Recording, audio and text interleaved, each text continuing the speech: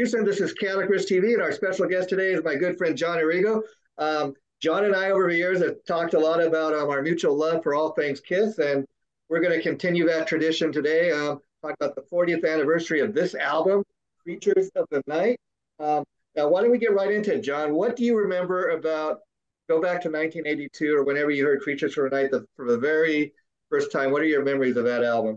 Oh yeah, I remember the day it came out like it was yesterday, man. It was like um, me and my best friend uh, Ed Hillel. We were in college at the time, uh, and uh, we had a, a, local store that we went to for everything, basically, um, called Slip Disc Records in Valley Stream, New York, which is famous in the in the Long Island scene. Uh, Mike Schutzman was the owner, great guy we call him up. We're like, you know, did you get the album? And did you get the album? And he's like, yeah, yeah, yeah. Because not like today where people buy stuff on their phone and sure, sure, whatever, sure, yeah, at home. Sometimes they didn't get the albums on the day they were supposed to come out. But anyway, so we made sure he had it.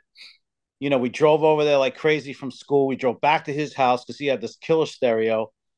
And the first thing that we just like when we first heard like the way the production was, we just kind of looked at each other like, what is this? Yeah, yeah. And it was like, and it was like the drums and the heaviness. And we're looking at the cover, and especially because like um, I have kind of comically dubbed the three albums before the trilogy of shit that came out before this album. Sure, sure yeah, yeah. Uh, that's trademark John Erigo. No, no, only kidding. um, yeah. Uh, yeah, you know, so it was like it was like, what's going to happen? Are they going to put a fourth clunker out in a row and piss the old fans off forever? But no, they came back with like the ballsiest, heaviest album I think that they ever made. Uh, I mean, up until that point, I mean, probably, I mean, you, you, had a lot of heavy stuff going back to the debut album, like you know, Dude, yeah, even Detroit Rock City and stuff like that. But but even that was more polished. I mean, this was the first time they really put out what right. I consider a heavy metal album. Right, exactly. The problem with the old albums was that they didn't have the money to make it sound like they did live and then with something like like destroyer they went a little overboard and like overproduced it you know and this this reminded me more like rock and roll over like that raw yeah. you know organic kind of sound and i mean like the drum sound um you know it was i mean it just had everything the way paul the was monster like, drum sound i mean that's um that's why this was eric carr's very yeah. favorite album he ever did with the band and uh, yeah, think, it's like the, it's like yeah. the most iconic heavy metal drum sound I, I can think of. You know, it's just like like cannons going off. And yeah. the strange and, thing is, they record, they recorded. I mean, you compare the way they look on here compared to like the back right. of the Elder. Right. Yeah. Gene Harris Short You know, they look totally yep. different. Yeah. I remember. I remember the quote from Gene when they asked him about the haircuts um, going into Creatures before it came out, and the quote was something like, "We're gonna have so much hair, we'll have hair on our teeth." Yeah, yeah, yeah, yeah, yeah. Which is pretty funny. But yeah, man, I mean, like, you know, the funny thing is they recorded the drums in the bathroom of the church. Mm-hmm. You know, that's how they got that big because the tiles made the, the acoustics incredible. Yeah.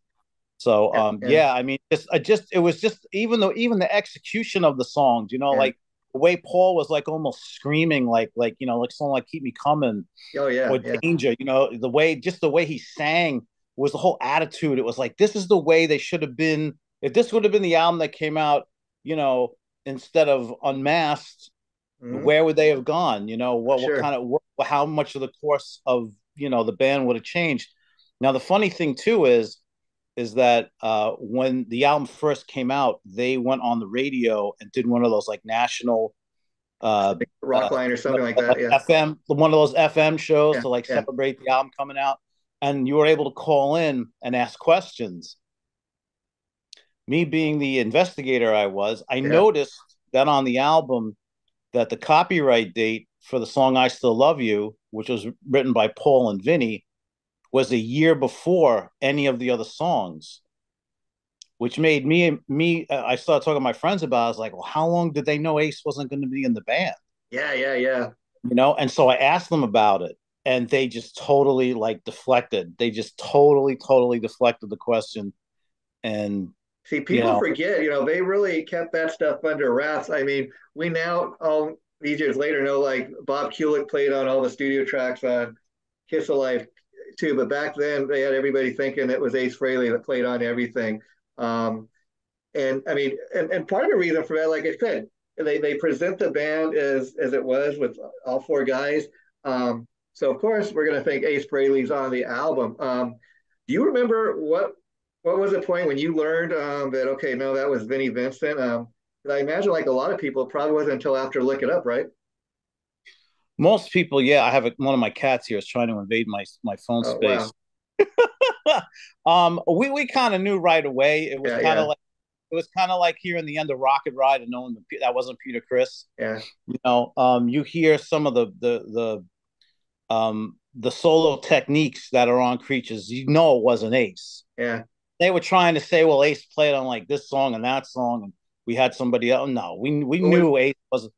What's interesting that we know now is I cause I found this stuff out like oh just going on the Wikipedia for Creatures of the Night. Um, um, while Vinnie wrote and plays on a lot of his stuff, um, it was kind of like Kiss was auditioning guitar players at that time because they had everybody from Vinnie Vincent um, to to Robben Ford to um, the guitar player from uh, Mr. Mister Steve Foster or something like that. Yep. Um, well, it was one of those things. It was one of those things like like like they used to do. They, I mean, they they did it on Destroyer too. Yeah. They did it on Love Gun. They just would if, if they didn't feel that uh, somebody was available or somebody was uh, sober enough to play, they just brought in somebody else, you know, mm-hmm.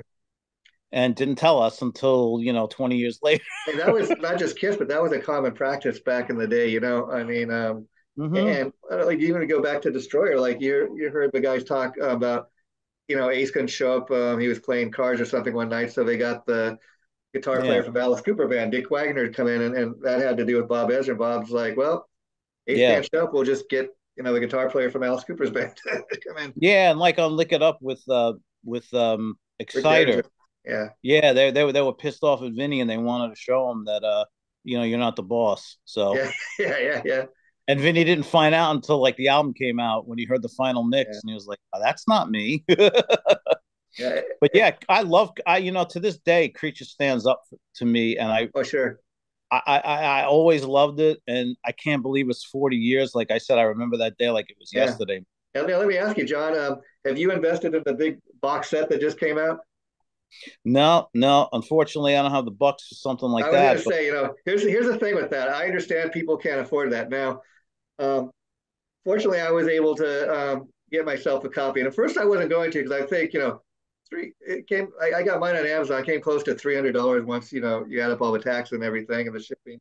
And i will say it was worth the investment i felt only because they packed it up with a lot of little goodies. Now i also yeah. got this because i initially thought okay this is 1999 it's like a two disc set. You get like some live stuff from the creatures of the night tour. They, you get a couple of the bonus rarities and and you get the original album kind of remastered the thing with this though is, is kind of a limited a limited amount of what comes in the big box set. What I liked about the big box set is you get a lot of um, unreleased rarities and demos, and some of the stuff I've heard, but some of them I've never heard. For example, you get um, a, a, version of uh, a song "Feel Like Heaven" with Gene Simmons on vocals. Now, you know anything about that song's history? Um, it appeared on the first or, or on uh, Peter Criss's second solo album, "Let Me Rock You." And if you look at the credits, Gene wrote that song. Now, I've never heard the, vo- the vocal version that Gene does, but that appears on um, on the big box set and, and stuff like. That. And then they they also have a new version of um, "It's My Life." That's also been one of those songs that have been heavily covered by other people, Wendy O. Mm-hmm. Williams, King Cobra. But I, I, stuff like that, I never understood why that did not make it onto the album. And they also put on um, this song "Deadly Weapons." It's an early. Yep it's an early demo of the song um, off of Asylum, "Love's a Deadly Weapon," but mm-hmm. I kind of like this version of the song better. It's got different lyrics and it's just different song, really. yeah, I listened to I listened to most of the box on uh, Apple Music, so yeah. I kind of familiar with what's on it. Um, yeah, it, it's a sin that they couldn't find a better live recording from that tour. Yeah, yeah. Uh, I thought I thought the the what was it Nashville? I think they had. Yeah. I think if I remember Illinois right, or something like that. Yeah. That too. might have been like a radio broadcast or something. They said it's soundboard, but yeah. it, it might have been recorded for a radio show. I kind of remember. Yeah. Yeah. Um I was I was kind of pissed that the tour got cut short for the album. Uh, because I really wanted to see them. And uh I had a, a, another friend of mine, Tom Savino, uh, who was my Kiss uh, c- comrade for probably about 75 of my 125 yeah. Kiss shows. Yeah. And he was going, he was taking the trip up to um, from Long Island, and I, I'm probably not pronouncing it right, Worcester. Paul Stanley used to call it Worcester. Yeah, uh, yeah, yeah. Massachusetts. Um, right, yeah. And I gave him my. I, I used to uh, don't tell anybody, but I used to uh, I used to record shows on cassette. You know, back in the did, yeah, back then. And so I gave him my my my recorder. I said, you know, if you get, if you can get it in, you know, try and record yeah. the show. He did, and I never circulated the tape. I never traded it. Yeah, and pretty good quality because that thing it was a good recorder yeah. for back then. And there's not a lot of bootlegs from that era because the tour was so short, um, and most of them sound horrible. So yeah, I, might... I think part of the reason they released that stuff is because for some strange reason, even though Eric Carr was in the band for like 11 or 12 years, until now, there's never been any live recordings, you know, officially released by the band featuring him. Yeah. Um, and That's so I think it's I think it's nice to finally have that out there because what's kind of sad. I remember when Eric Carr was still in the band around the time, um, you know, Smashes, Thrashes, and Hits came out. They were talking about putting out Kiss Alive three. Of course, that never happened, uh, yeah. and then they pushed it back, you know, a few years later. But um, so there was never until now a, a live um, any live recordings with Eric. So I think that's cool to have that out there at least for that reason alone. Yeah, yeah, no doubt, no doubt. Eric, a great powerhouse drummer, you know, and um, and so again, I, I think um, if you can't afford if you can't afford the big box set, this this is a nice little sample of what of what you'll get. Yeah, um, you, you get some extra stuff, you know. I forgot the guy's name. I was approached. Oh, what the heck is his name? Ken Sharp, maybe. Yeah, I was yeah, approached yeah. by I was approached by somebody that works with Kiss or was working with Kiss for the box set because um, on the Creatures tour when the album came out, Kick Ass Monthly was uh, in its uh, second year of publication. Oh, wow. Yeah, yeah. So we actually uh, uh, put out a an issue, and it was still in black and white at this time, but the but the printing was a little better than just yeah, Xerox. Yeah. And we had a live we had a right we had a live picture on the cover um from kind of like far up yeah. and you could see the flames shooting up around the tank and they wanted to know where i got the picture from yeah and i told them i said well can't you just use the cover of my magazine that would be freaking awesome but yeah. they didn't want they just wanted the picture and i couldn't find the picture and by wow. the time i found it they had already you know announced that it was coming out so i knew that the publishing and everything was uh, the printing was sent off, but I found out that the picture was actually taken by somebody who passed away, oh, wow. uh, Al Munson, who used to um, uh, be like a, a, a, Twisted Sisters unofficial official photographer in the club days. He used to be like every show up front taking oh, pictures wow. of yeah. from you know way before the first album came out. Yeah, yeah. And and he was a big Kiss fan too.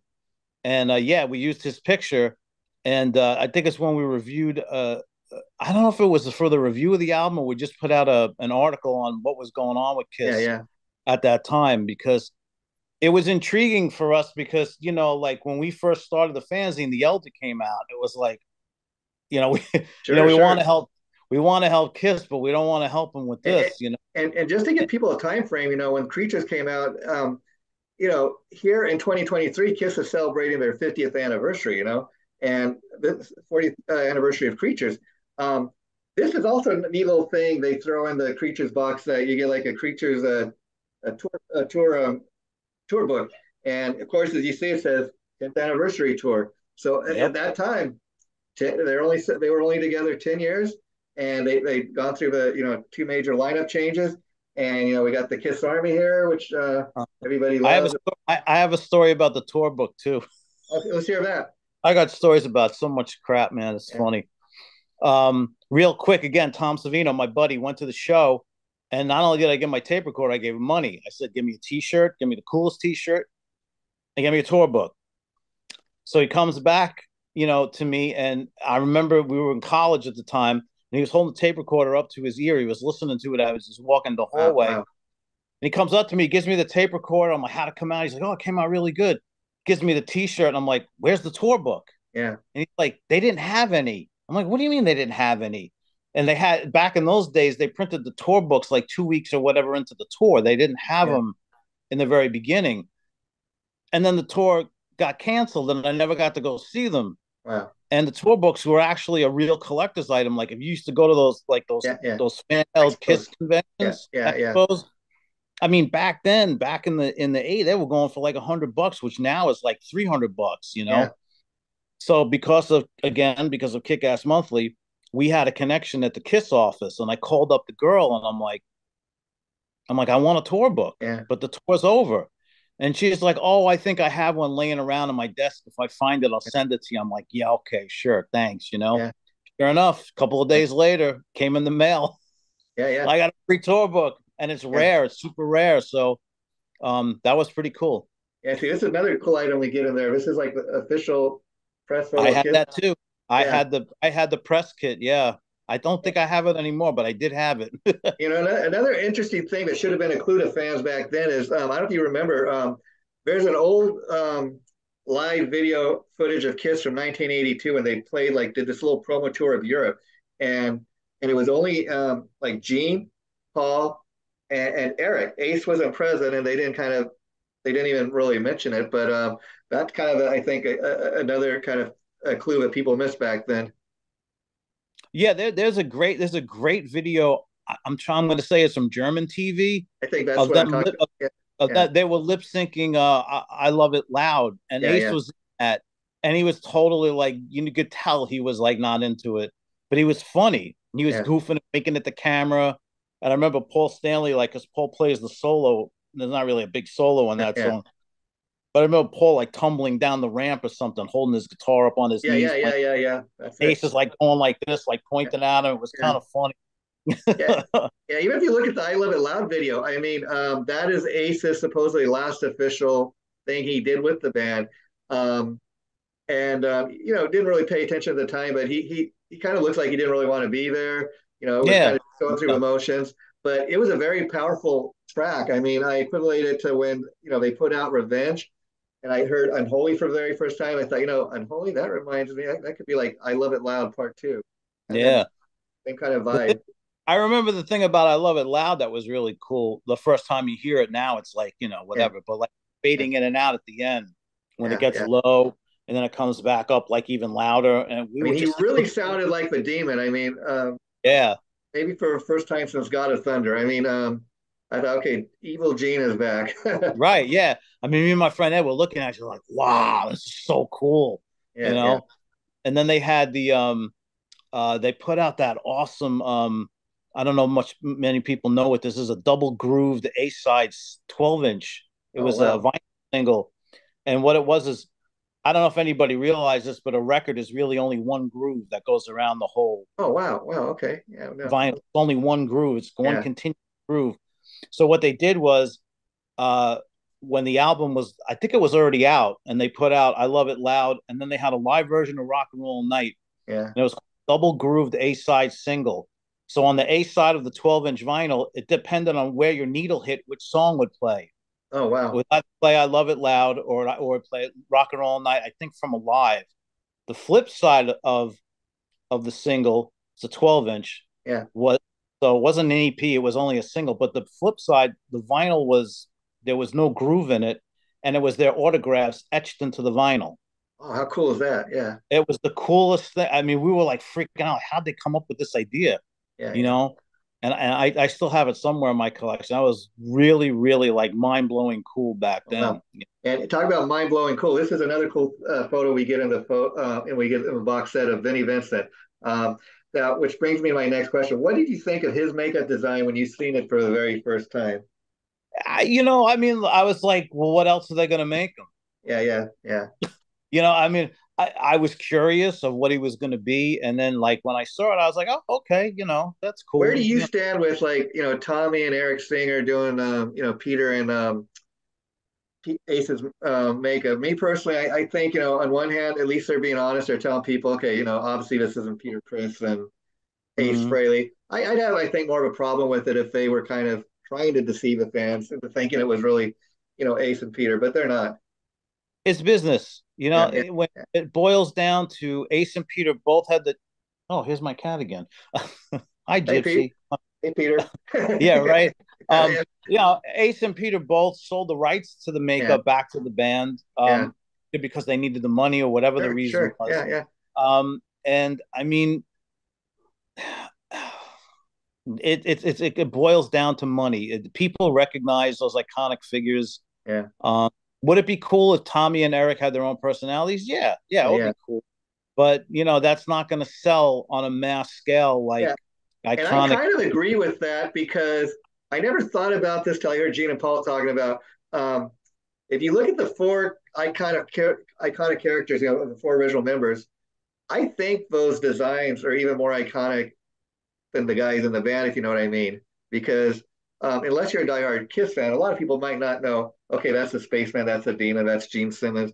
Um, it's just they think they see those those iconic, you know, makeup designs and they think that's Kiss.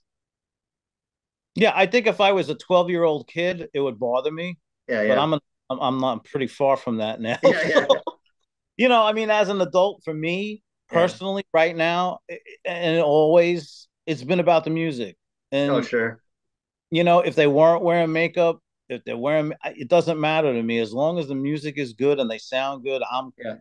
I'm good. You know, if they sure. if they would come out if they would come out and tell people, hey, this is Ace and Peter, then obviously there's a big problem with that. Yeah, of course. Yeah. You know, it's all about the music, man, and and uh, you know the band still sounds good. So, I mean, I think I think Eric, you know, uh, drum wise is much better than Peter is now obviously sure. because Peter's Peter's an old man and he can't play like that anymore. I mean, he couldn't play like that.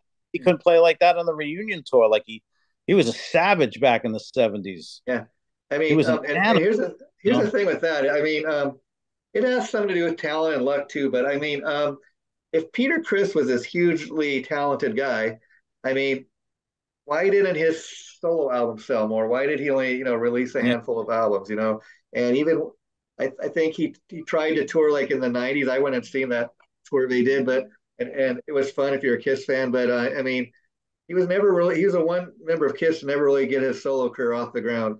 Well, I think it's because I think it's because his music was so completely different yeah, than yeah. was doing. If he would have put out an album that was more like you know Hooligan and, and Baby Driver, maybe yeah. he would did better. But you know he's doing '50s, you know, kind of doo wop songs. That's yeah that's a whole different crowd you know and it's you know it's something i never wanted to hear i mean not that that stuff's not good it's not something i want to listen to yeah though. for a kid if you're a kiss fan you know yeah yeah i mean look at ace you know ace ace put out stuff that was more along the lines of a hard rock at, ace, at one point he he hadn't put any new music out in 20 years but then he comes back and he's able to do it and, yeah uh, yeah, and, and and he stuck to the formula you know he stuck to the hard rock thing and it was more successful uh for that you know, that's yeah. what I way I believe it. You know, Ace is a rocker. You know, Peter maybe maybe Peter wasn't a rocker at heart. You know, yeah. I don't know, but I mean, like Ace is a you know he's a rock and roll guitar player. So you know, yeah. the and the songs reflect that. It was just cool. I mean, I, I do like on, on the '78 solo album, Peter Criss does a cool cover of that. You know, um, Tossin' and Turnin'. I mean, that that I think something like that Kiss fans can kind of get into. You know. Um, yeah, I mean they played it live for a while on the on the Dynasty tour yeah. when they were trying to give all four guys a, a, shot at playing a solo song. Yeah, that was the one that that was probably the only one off that album that they really could have tried. To be honest yeah, yeah.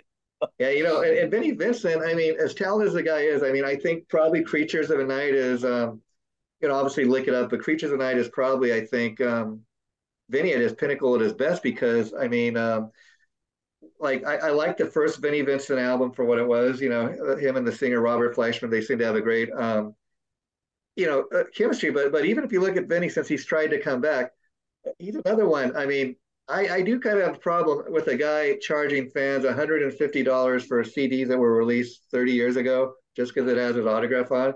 I, I mean, at the very least, if you're not going to do live shows, you know, put out a yeah. put out a new album, an EP or something, you know.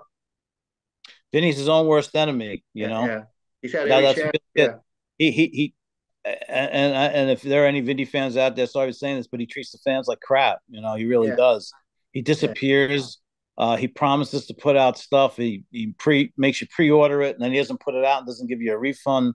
There was a whole debacle with that cassette box that he wanted to put sure, out. Sure. Like and then, and then I seen something on the internet recently where um, somebody was talking about he holds these fan events, and again, people are welcome to do whatever they want with their money. Where, but he's charging, you know, not just anybody can get in. I, I guess he, he announces these things to certain fans, and and he charges them five hundred dollars just to get in, and then if you want to have a autograph fit, uh, photo, that's another hundred and fifty dollars, and just charging over like like crazy amount for like an autographed guitar pick, like you know, a thousand dollars and something.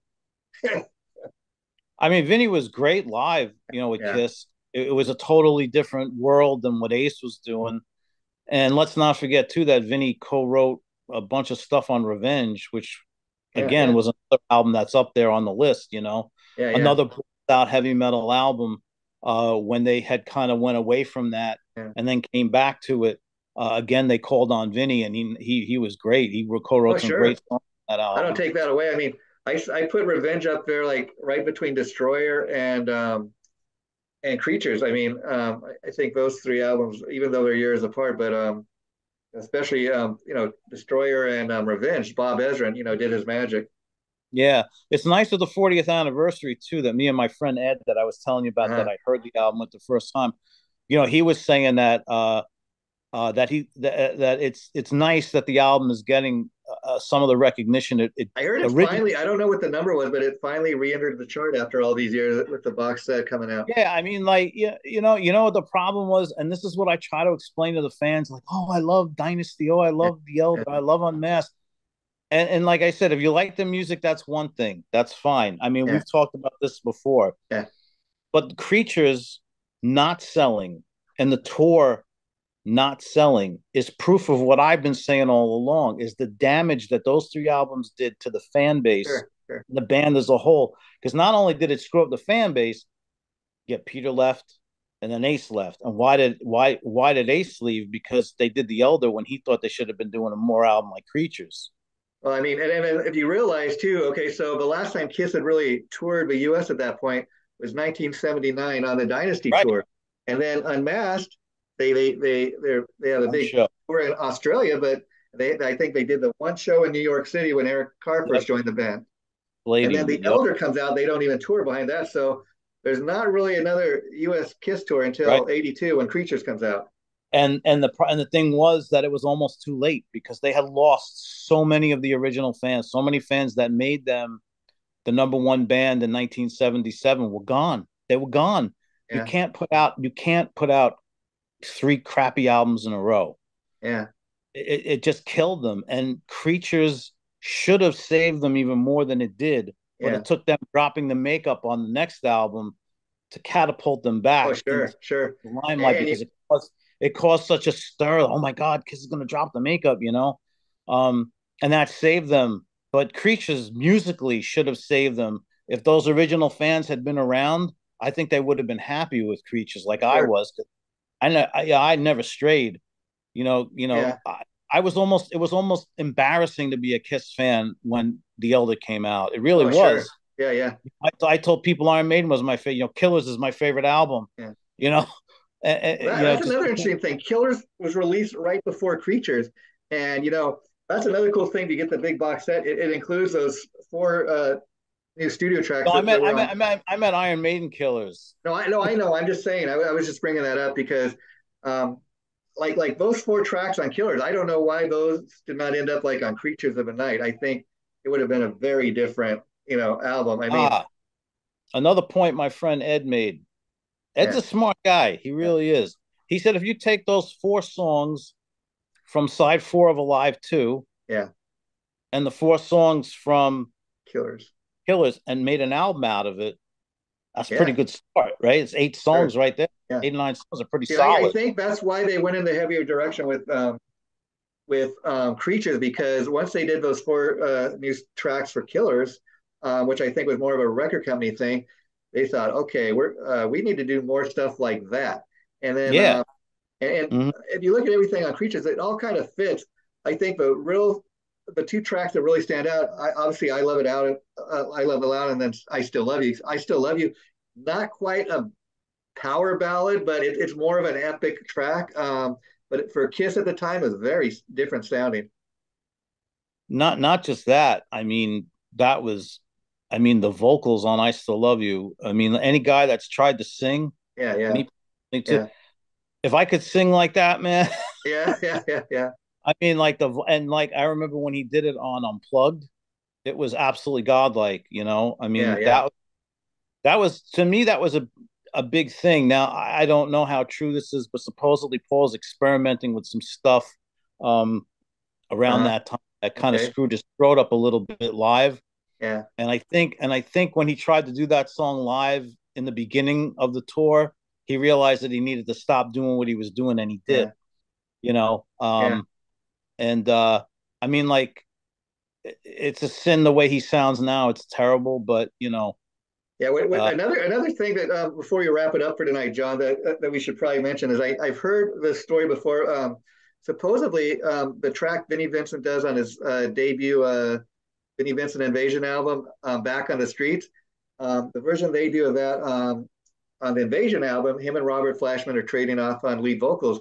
But apparently, Vinnie originally brought that into the Creature sessions and wanted to do it on Creatures of the Night, um, but Paul rejected, I guess, in favor of um, of I Still Love You. But um, supposedly Kiss has a demo somewhere, but just haven't been able to find it with Paul doing Back on the Streets. Wasn't it originally still Boys Want to Rock or something? Or is that a different song? Well, that that's on the that's a single off the first uh, Invasion album, but um, I think they I think they cut that too maybe, and it never made it onto the album. Yeah, I kind of remember that. That was like, oh god, what the hell was the name of that band? Warrior that Vinnie was in. Yeah, actually, if you go on Amazon, they got like a Warrior. I think Warrior one and two. They got these. Yeah, I think I, I think I think around the time that Lick It Up came out, the Warrior demos had kind of like made it around to the Kiss fans, like the Trading Circle. Yeah. yeah. And I kind of remember hearing a song that sounded similar to that with a different title, but I can't. Yeah. Totally remember it, but yeah, yeah. I mean, like you know, it's rock and well, roll, brother. Yeah. Well, John, it's been great talking. Like I said, um, you know, our time is kind of limited because we don't want to get cut off after like uh, 30 minutes. Yeah. So I'm gonna let you go, but um, I think it'd be fun to have you back once once a month and do something like this. We could talk about, you know, kick ass forever or whatever else you want to talk about. So, um, so let's do it. Okay. Yeah, man. There are so many bands out there right now, and so many great, you know, yeah. press yeah. agencies, labels, that yeah. independent sending me stuff. It's awesome, man. Metal is so alive right now. It's great yeah, if that's maybe we'll call like Kick Ass Monthly or something, or you know, you think you think about that, and I'll talk to you. Kick Ass Forever Monthly. okay, there you go, buddy. You take care. Have a nice night, and, and this should be going up next week. I'll let you know. Okay. Hey, man, I totally appreciate uh once again calling on me for this. I um. Well, you know, we've been having fun doing this, and you're one of the first people I thought he'd be perfect for this. So um, Thank you, sir. I really appreciate it, man. It's always always a good time talking to you, brother. Yeah. Well, I'll, I'll be in touch probably about a month from now. We'll do it again. So take care, John. Bye bye. Very cool. All right. Bye.